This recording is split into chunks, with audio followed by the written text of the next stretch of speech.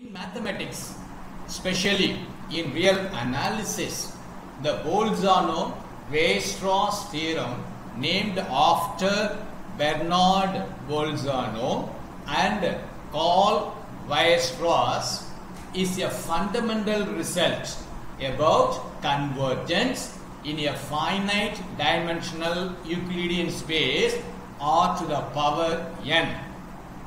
The Bolzano-Weierstrass theorem is a crucial property of the real numbers discovered independently by both Bernard Bolzano and Karl Weierstrass during their work on putting real analysis on a rigorous logical stability.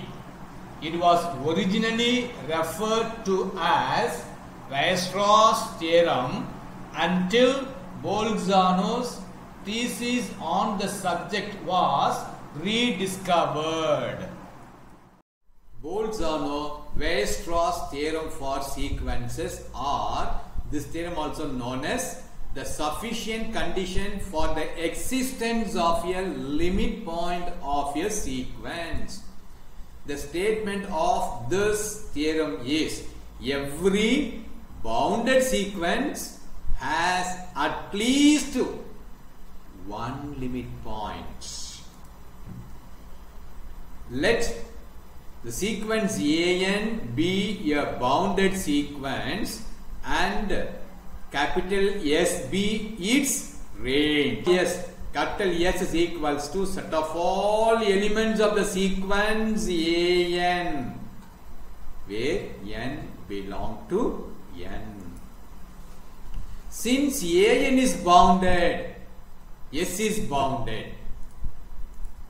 Consider the sequence an is equal to minus 1 power n whose elements are minus 1, 1, minus 1, 1, so on. Every term of the sequence is either 1 or minus 1. Therefore, you can write minus 1 less or equals to an less than or equal to 1. That is, an is bounded.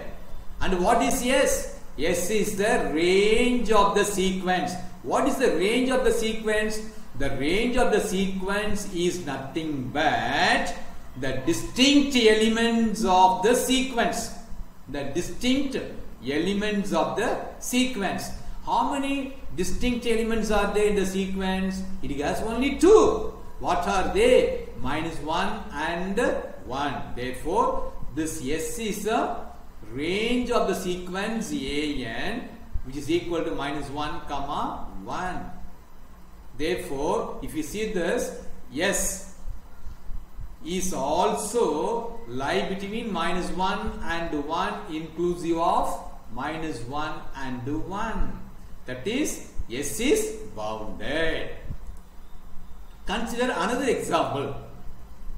The sequence an whose nth term is 1 by n which has elements 1, 1 by 2, comma 1 by 3, comma 1 by 4, so on. Here, every element of an lie between 0 and 1 including 1. Including 1.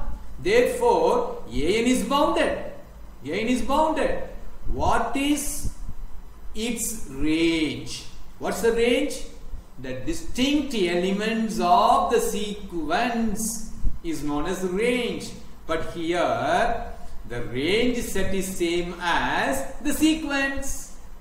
Because all the elements are distinct here. All the elements are different. Therefore, in this case, the range set is same as the sequence an.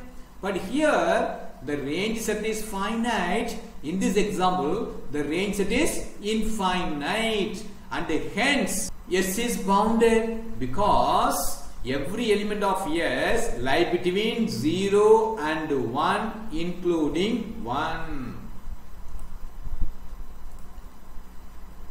We have two cases as we discussed in the example the range set is finite or infinite the case one is let the range set be a finite set. Then there exists a real number L such that there an is equals to L for infinite number of values of n belong to n. Look at this. Case 1. Case 1 is S is finite. Here S is finite. Now see here an. What is an? Equal to 1 for infinite number of terms of the values of n. Values of n. Therefore, 1 is a limit point. Similarly, n equal to minus 1. For again an infinite number of values of n where n is odd in that case. Therefore, 1 and minus 1 are the limit points of the sequence minus 1 power n. Thus, if S is a finite set, then there exists a real number L. In that case, either 1 or minus 1 such that an is equal to L for infinite number of values of n where n is a natural number. Therefore, given epsilon, given epsilon, this an belongs to L minus epsilon, L plus epsilon. That is, the terms of the sequence, we have infinite number of terms of the values of n which lie between the open interval L minus epsilon and L plus epsilon. What is the open interval L minus epsilon and L plus epsilon? That is the neighborhood of L. Neighborhood of L. Therefore, given epsilon, an belong to the neighborhood of L for infinite number of values of n belong to n. That is every neighborhood of L. Every neighborhood of L. As epsilon value changes, the neighborhood of L also changes. So every neighborhood of L contains an infinitely many terms of the sequence an.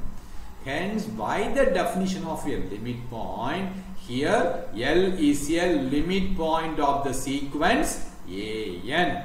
Thus, if S is a finite set, then we have shown that L is a limit point of the sequence an. What is case number 2? Case number 2 is the set yes. What is yes? The range of the bounded sequence will be infinite. Case number 2. The range set yes be an infinite set. Since S is an infinite bounded set, by Bolzano-Weierstrass theorem for sets. For sets, S has, the set has at least one limit point. Let us call it as L. Now, L is a limit point of S. This implies every neighborhood of L contains an infinite number of elements of S by definition of a limit points. But each element of S is a term of the sequence AN. Look at this. This is the set S which is infinite. Infinite, infinite. Here, what is S and what is sequence AN? Both are the same. Both are the same because every term of the sequence AN is distinct, is different and hence this S is being infinite, infinite. Here the set S is same as the sequence AN. That is each element of S is a term of the sequence. Look at this. Each element of S is a term of the sequence AN. So, each element of S is a term of the sequence AN. Therefore, every neighborhood of L contains, every neighborhood of L contains an infinite number of terms of the sequence. terms of the sequence an. This implies L is a limit point of the sequence an. Thus, whether S is finite or infinite, L is a limit point of the sequence and hence this proves the theorem.